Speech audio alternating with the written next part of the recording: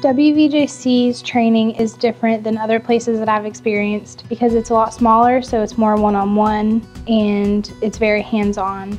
The support that I've received here while at WVJC has helped me to be successful in many different ways. Feels that I'm being supported by everyone that is staffed here at WVJC and that's something that's truly amazing.